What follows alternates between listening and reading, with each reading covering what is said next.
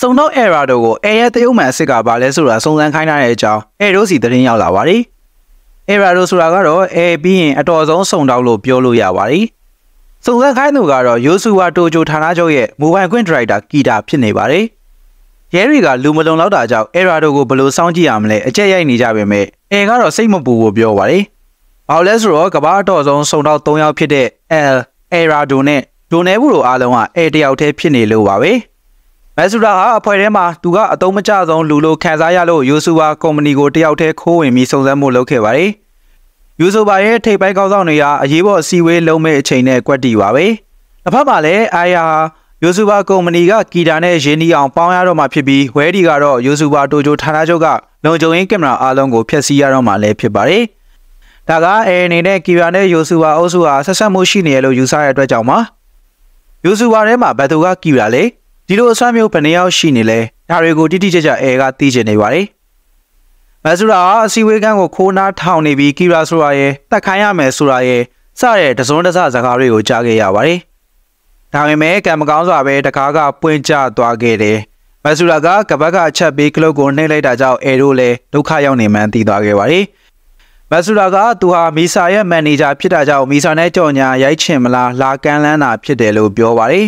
အေကတခြားတယောက်ပုံစံနဲ့ဖုန်းဆက်ပြီးယူဆူဘာကလူတွေကသူတို့လည်းကြားအောင်ဖုန်းကိုမျက်နှာနဲ့ခွာပြောခိုင်းပါတယ်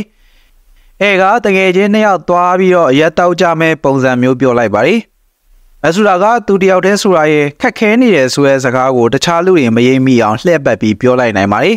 ။ခက်ခဲတဲ့ဆိုတဲ့စကားဟာအန်ရီရဲ့ကြောက်ရောက်နေပြီလို့အတိပ္ပယ်ရတဲ့စကားဝတ်ပါပဲ။ရာဂမီကမီဆာနဲ့ဖုန်းဆက်သွယ်ရခဲ့ပြီးအဲ့အချိန်မှာပဲမက်ဆူလာကမီဆာစီဖုန်းဆက်လာတာကြောင့် ရာဂမီတို့လည်းနားထောင်ခဲ့ရပါတယ်။အလုပ်ကိစ္စစကားပြောမယ်ဆိုပြီးရိုးစုဝါဆောက်အုပ်စီလာခိုင်းတာပါ။အဲ့မှာမိဆအပြင်သူတို့ရဲ့ထူးဝန်ဆောင်မှုဆိုပြီးခက်လန်းလန်းကောင်မလေးလည်းပါတော့ပါတယ်။ကုမ္ပဏီကခေါင်းဆောင်ရင်းနဲ့တောက်စားပြီးစကားတွေအတူတူပြောကြတယ်။တောက်စားနေတဲ့နေရာကိုတော့ CCTV ကနေအဲတို့ကဟက်ပြီးလှမ်းကြည့်နေပါတယ်။အဲ့ဒီချိန်မှာမက်ဆူတာကမီဆာရဲ့ဖုန်းကိုယူပြီးအိမ်သားစီသွားတယ်။အဲတို့စီဖုန်းဆက်ပြီးသူတယောက်တည်းတစွတ်တိုးလုတ်ခဲ့မိလို့ခွင့်လွှတ်ဖို့အကြောင်းနဲ့ယိုဆူဘာရီဟာကီရာကို တယောက်ယောက်ကိုတတ်ဖို့ဂျက်စီနေရဲ့တရင်ပြောပြလိုက်ပါတယ်။အဲကမက်ဆူရိုင်းမျက်နှာနဲ့နာမည်ကိုယိုဆူဘာကကုမ္ပဏီကလူတွေတည်သွားပြီဖြစ်တာကြောင့်အသက်ခံရဖို့ရာဂိုင်နှုန်းများနေတယ်။ဒါကြောင့်သူတို့မတက်ခင်မင်းအရင်တည်မဲ့ဟန်ဆောင်ရမယ်ဆိုပြီးသူ့အစီအစဉ်ကိုပြောပြပါတယ်။မက်ဆူရာကအပြင်ပြန်ထွက်လာပြီးအရက်အရန်မူးနေတဲ့ဟန်ဆောင်တယ်။ပြီးတော့ဝေယနာထွက်ပြီးလက်ရန်မှ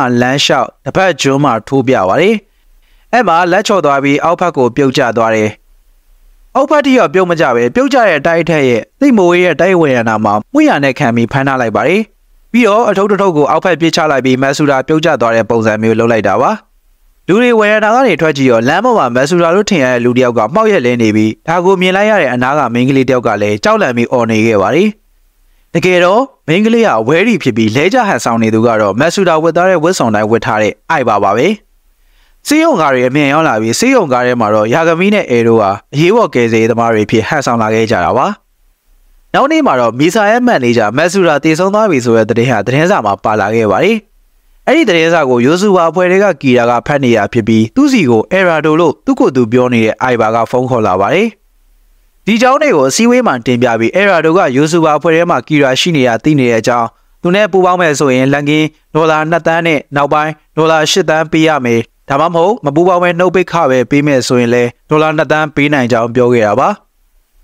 ဟာတာရီဆိုရဲ့လူတယောက်ကိုနောက်တနေ့မှတေမယ်လို့အဖွဲ့တွေကလူတယောက်ကချင်းချောက်တလူလိုနဲ့ခနဲ့တက်တက်ပြောနေပြီးအဲရာဒိုကအရေးကြီးတဲ့သူဖြစ်တာကြောင့်သူပြောတဲ့အတိုင်းငွေပေးဖို့ဆုံးဖြတ်လိုက်ကြပါရီမက်ဆူရာကိစ္စဖြစ်ပြီးရဲ့တပတ်မြောက်နေ့မှာတော့ဝဲရီအစမ်းနဲ့ယိုဆူဟာကုမ္ပဏီရဲ့ကင်မရာတွေကိုအဲရိုးကစောင့်ကြည့်နေပါတယ်။စီဝေးလုံးနေကြပြီးခေါင်းဆောင်တွေကရှေ့ရောက်ရှိရမယ့်အစားတယောက်ကပျောက်နေရတယ်ဖြစ်ပါတယ်။ ဒီမှာရပိုင်းဆက်ကူကပြီးဆုံးလာပါတယ်နောက်ထပ်ပိုင်းတွေကိုလည်းဆက်ပြီးတက်ဆက်ပေးတော့မှာဖြစ်လို့ဆက်လက်ဆောင်မြော်ခန်းစားပေးကြပါအောင်ခင်ဗျာ။